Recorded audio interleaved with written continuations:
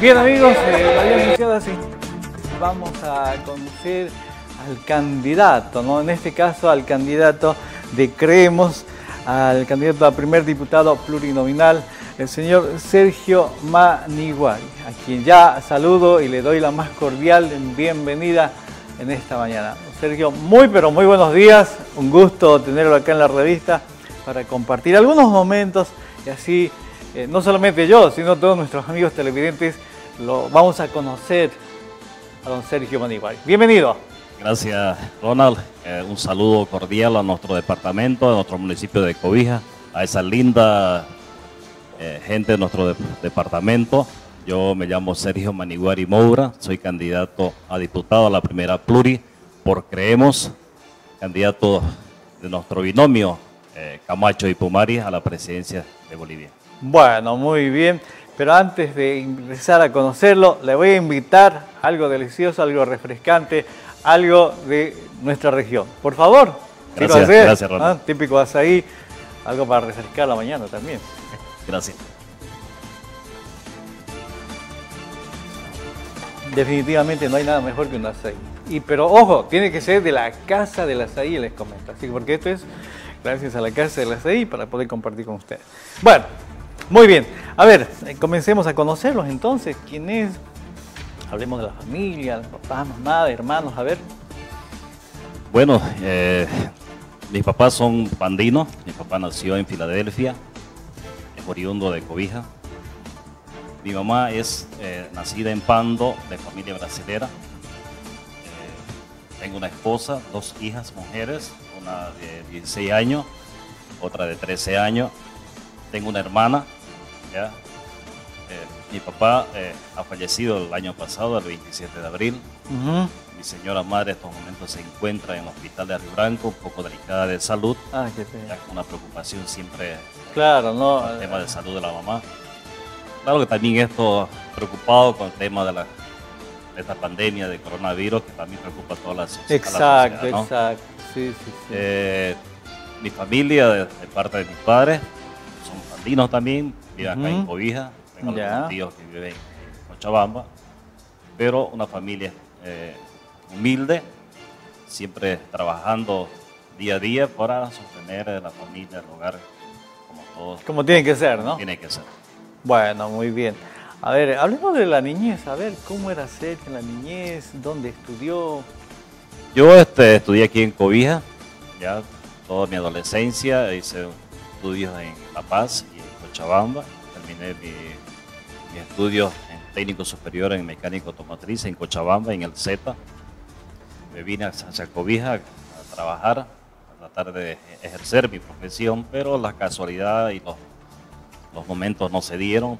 Casualmente tuve que eh, invitado a la Universidad Masónica de Pando como fundador de la universidad el año 1993.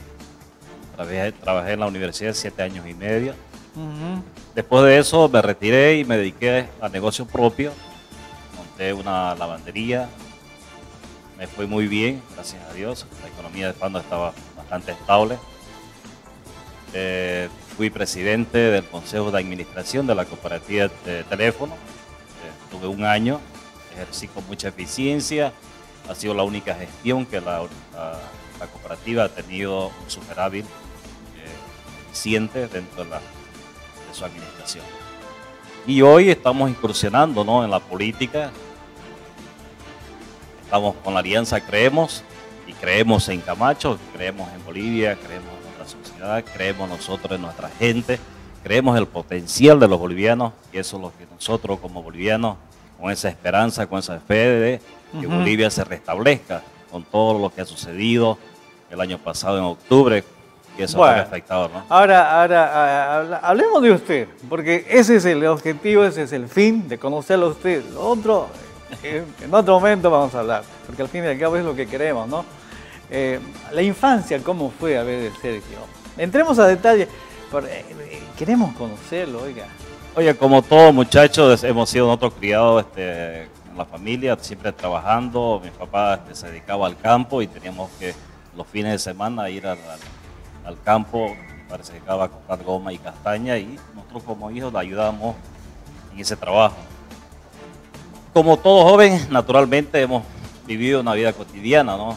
Con amigos, estudiando, siempre haciendo un poco de deporte, me gustaba siempre el tema de las pesas, muy pequeño y, y ese era la- uno de los. Fisiculturismo. Ah, ya, o sea que era, le, le gustaba. Me gustaba, pero en un ya- momento que para, de hacer este, alzar pesa, bueno, y me dediqué a- al Claro, porque sedentario, cuando, ¿no? cuando uno hace ese deporte, por ejemplo, eh, es mantenerse, ¿no? Tiene que seguir, seguir, porque la- eh, es así. Claro, uno No para, puede, o sea, uno- parar. uno para hacer deporte y se comienzan a, a engordar, ¿no? Y eso es también perjudicial a la salud. Conocemos de eso, estamos haciendo nuevamente, tratando de mejorar la salud, porque hay que cuidar, porque si no, no podemos también nosotros eh, ver a los hijos crecer, salir a la universidad y ser profesionales. Claro, exactamente, ¿no? Eh, Porque ese es eh, en sí lo que eh, son las leyes de la vida, como quien diría Eso. por ahí, ¿no? Pero lo cierto es que hay que seguir. Ahora, bueno, estamos en esa etapa donde usted dice el zapesa, todo eso, y ¿cómo era la juventud de, de- de Sergio? La juventud, pues de antes había los juegos eh, de barrio, siempre activo. Antes no había el tema de los celulares, no había el tema de la, de la televisión, siempre a las horas de, estudio, la hora de dormir, eso era rígido. ¿E- la ¿Era aplicado, eh, Sergio? era- bueno, como todo, todo muchacho, siempre hay este, algunas debilidades, ¿no? Pero era- sí, sí éramos aplicados. Ah, ya, sí. perfecto. No era que tenía una nota exorbitante, pero mantenía una nota que como todo papá... Este, No era un dolor de cabeza para los papás. No, eso Ah, ya, gracias ya. a Dios por la educación que recibí mi padre, a pesar de la educación que tenía mi papá. Mi papá estudiaron hasta eh, segundo básico, por las circunstancias de la vida no han podido estudiar más, pero siempre personas honorables, honradas, eh, demostrando de que son hombres de bien. ¿Cuántos hermanos tiene Sergio? Eh, lamentablemente solo tengo una hermana, una hermana mujer. Ah, o sea que hubiera- le hubiera gustado tener más hermanos. Me gustaría, claro, como Ah. todo, todo, todo joven, querer tres, cuatro hermanos para poder tener este, el equipo completo para ir a jugar, ¿no?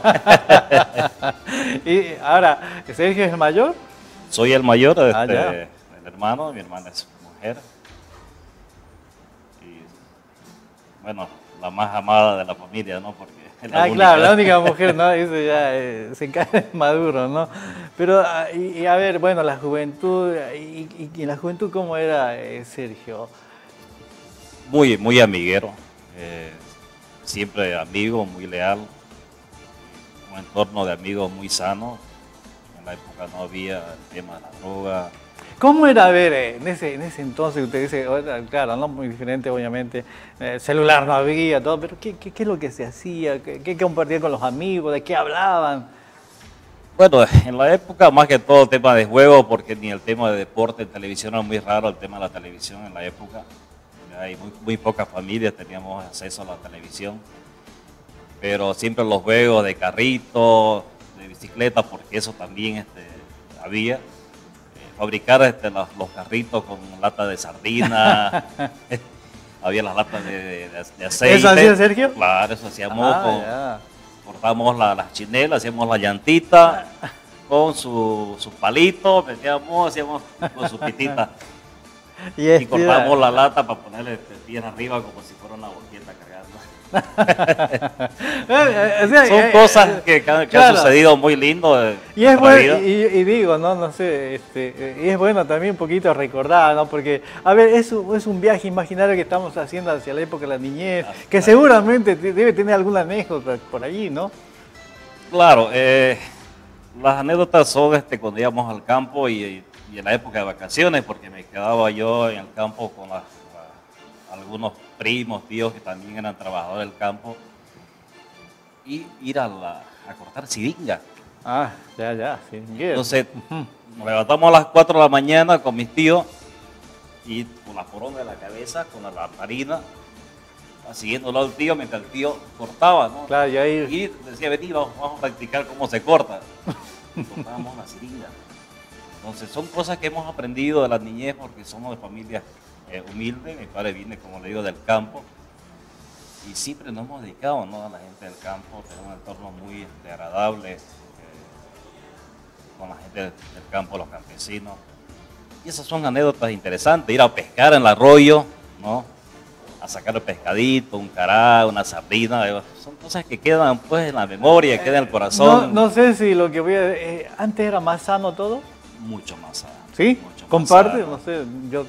Comparto, sí, completamente. Hoy vivimos momentos muy difíciles con el tema de las drogas y cada vez un montón de drogas nuevas que están saliendo que son perjudiciales a la salud y a la sociedad más que todo. ¿no?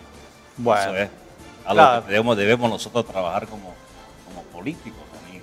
Y bueno, yo creo que eh, eh, esto ya viene lo que es en el seno de la familia, ¿no? Papá, mamá, trabajar, una mayor comunicación con los hijos, un mejor control ante todo, y, eso cosa hoy por hoy eh, no se está dando.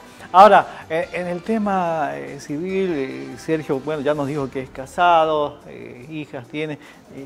A, ver, ¿cómo fue esa, esa, esa, parte, esa etapa tan importante también de la vida? Porque imagínense tener una mujer con la cual está conviviendo y cuántos años de casada. A ver.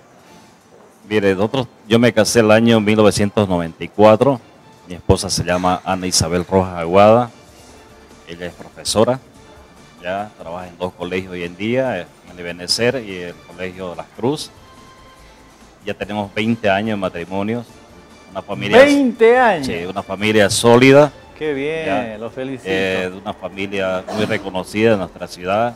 El ingeniero Celso Rojas, su papá de mi esposa. Ya. La señora Ruth Aguada, la mamá de mi esposa, que es una familia reconocida, como bien lo digo, ¿no? Este, una familia sana. Tengo dos cuñados, que es Andrea y Albano, que son mis cuñados, hermanos de mi esposa. Mire, es tener una gran satisfacción, ¿no? De tener una familia estable, una familia muy linda. Tengo dos hijas que son una niña muy inteligente. ¿Qué se llaman las niñas?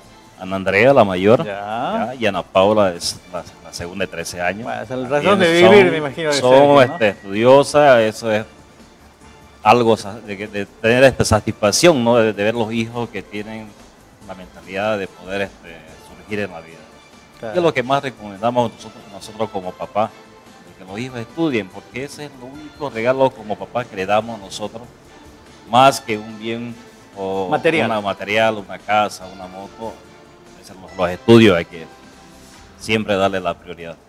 Em, ¿Cuál ha sido la, etapa más difícil que tuvo Sergio Maniguari en la vida? Yo creo que la etapa más difícil es cuando lo perdí de mi padre, porque mi padre eh, hemos luchado tres años con, él. Él tenía Alzheimer y Parkinson. Mm. Momentos muy delicados triste porque